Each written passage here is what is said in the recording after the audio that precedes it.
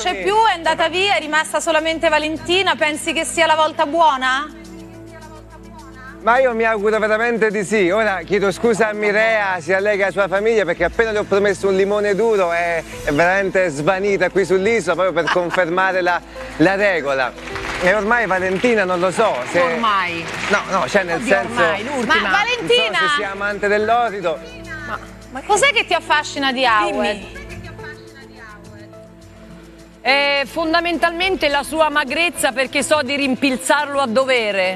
Eccola, cioè, eh, ci sarà qualche altra cosa oltre alla magrezza? C'è mica No, solo... poi devo dire, a differenza di come è entrato, eh, il volto, questi occhi così profondi mi ispirano un po'. Certo, potrebbe essere mio figlio, ma oggi le MILF vanno di moda, Vera Gemma me lo insegna, quello che Vera lascia Valentina raccoglie, no? Vero, Vera? Finalmente Valentina, finalmente inizi a capire qualcosa. Guarda, ho assunto anche la posizione corretta, va?